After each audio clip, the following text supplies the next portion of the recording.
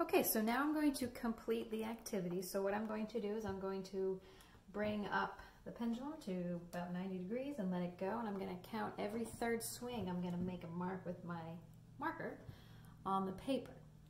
All right, so let's see, try this and let's go. All right. Nothing happened.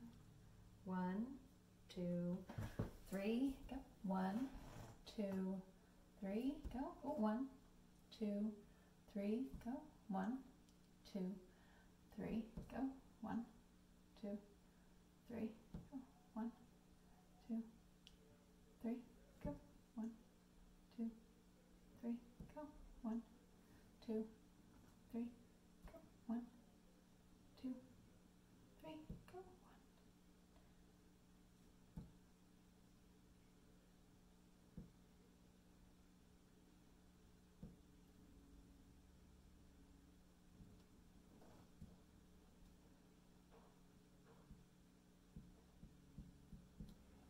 So,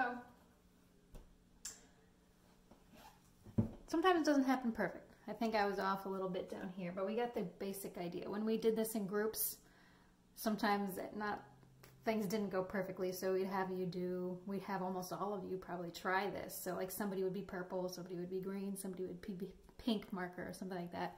So let's say this one didn't really work out, we can kind of cross off Mrs. Lafond's and then, you know, Mrs. DeJure can try it. Oh, hers kind of worked out better. We could pick that one. But for today, I did well enough to make this work.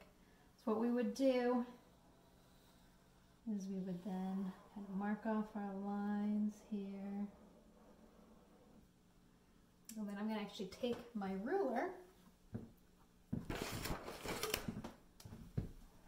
find my dots again. Here's one. Let's see if we can do this.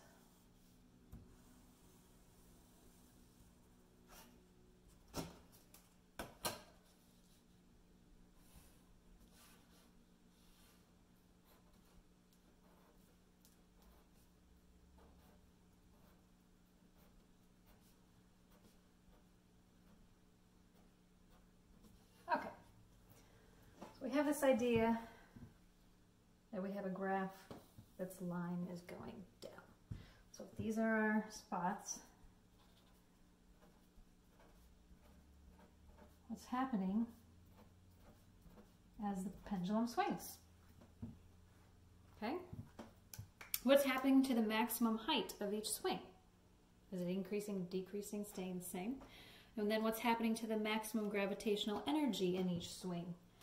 If this is the ref or this is the reference height, this is me with the most potential energy, most gravitational energy.